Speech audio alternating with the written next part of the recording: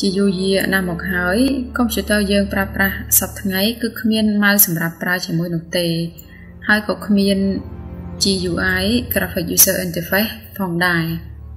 រាល់ទិន្នន័យត្រូវបានវាយបញ្ចូលដោយការវាយបញ្ចូលពាក្យបញ្ជា ឬភាសាអង់គ្លេសហៅថា command នៅលើក្តារចុច keyboard ចំនួនតែប៉ុណ្ណោះ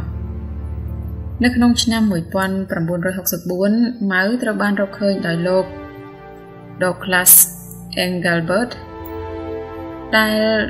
ធ្វើពីសែលឈើបន្ទះសេគ្វីនិងកង់ពីរដែលតំណាក់តំណងជាមួយផ្ទៃរបស់វាត្រូវបានគេយកមកប្រើ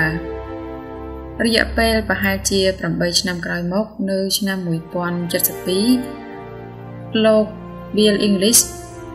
បានអភិវឌ្ឍនិងរចនាបន្ថែម ដោយបង្កើតនៅអ្វីដែលគ្រប់គ្នាបានស្គាល់ថាជាបលម៉ៅដែលយើងស្គាល់រហូតដល់សប្តាហ៍ថ្ងៃ បលម៉ៅបានប្រើប្រាស់ក្របបាល់ហើយក្របបាល់ទាំងនេះជំនួសដោយកង់និងមានសមត្ថភាពក្នុងការត្រួតពិនិត្យចលនានិងទិសដៅណាមួយនៅពេលដែលក្របបាល់មានចលនាវាក៏កាត់នឹងកង់មូល2ដែលនៅពេលនោះវាត្រូវបានបំលែងទៅជាចរន្តអគ្គិសនីតំណាងឲ្យទិសដៅនិងមានល្បឿនម៉ៅនេះត្រូវបានគេផលិតអស់ត្រឹមតែ17ដុល្លារក្នុងមួយគ្រឿង ហើយបានលក់ចេញវិញ35ដុល្លារក្នុងមួយគ្រឿងរហូតដល់ឆ្នាំ1998សត្វកណ្ដុរអុបទិកនេះក្លាយជាជំរើស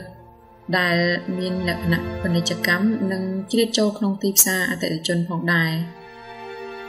សប្តាហ៍ថ្ងៃនេះកណ្ដុរអុបទិកបានចំនួនទាំងស្រុងដែលត្រូវបានផ្ដល់ស្តង់ដារដោយកុំព្យូទ័រថ្មីទាំងអស់។